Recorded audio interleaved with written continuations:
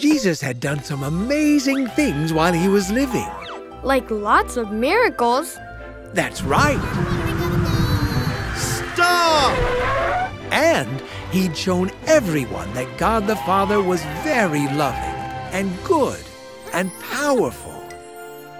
He had also promised that the kingdom of God was near. He'd given everyone a taste of that kingdom through those miracles. What's the kingdom of God? The kingdom of God is when the whole world will be made new again, the way God had always wanted it to be.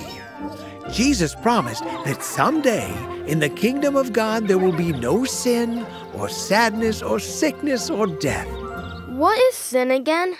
Sin is when we ignore God and go our own way. Sin is when we say, I don't care what you say, I'm going to do it my way.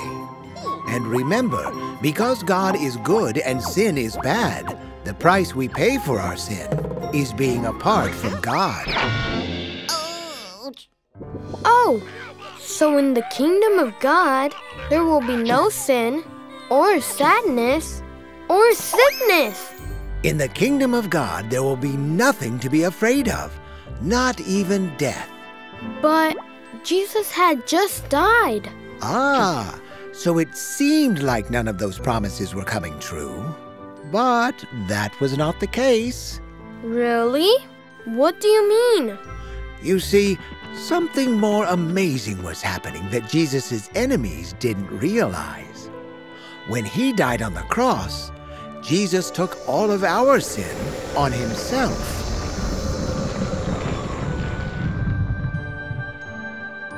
He did?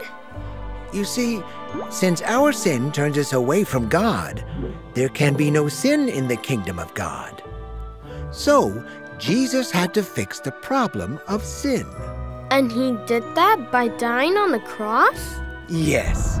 By dying on the cross, Jesus paid the price for our sins. Yours, mine, everyone's. Wow. Jesus really loves us. He sure does. But Another question? what about all the things that he said about the kingdom? I still don't get it. If Jesus was dead, how could any of those promises come true? That's a really good question. With an even better answer.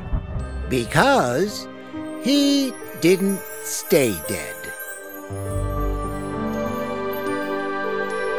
You see, when Jesus was alive, he said, In three days, I will rise from the dead. Well, Jesus had died and was buried on a Friday. That's day one. All day Saturday, his body lay in Joseph's tomb with the guards keeping watch. That was day two? Right. So Sunday morning comes around, Day three. And two women who were Jesus' friends made their way to the tomb to put spices and perfume on his body, because that was something that people did in those days. When all of a sudden, What happened? What happened? an earthquake shook the ground, and an angel appeared. Oh, The angel rolled away the rock. When the women arrived, there lay the two soldiers, passed out on the ground. There lay the rock. And there, well, there was no Jesus. Don't be afraid. Oh, uh, okay. I know you're looking for Jesus, but he isn't here. He has risen, just like he said he would. Jesus is alive. What? What? The women were so excited. They wanted to go tell their other friends what happened. When suddenly, Don't be afraid. Jesus showed up? he sure did. No way! Yes, way. Later, Jesus appeared to all his disciples. He explained to them why he had to die. He told them the great news that death has no power in God's kingdom. And then, when it was time for him to leave, he said, From now on, you will be the ones telling others about my kingdom. I will send you a helper who will fill you with the power of God.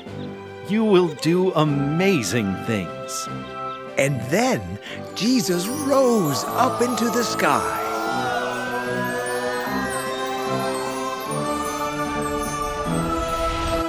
Amazing! The disciples were very excited.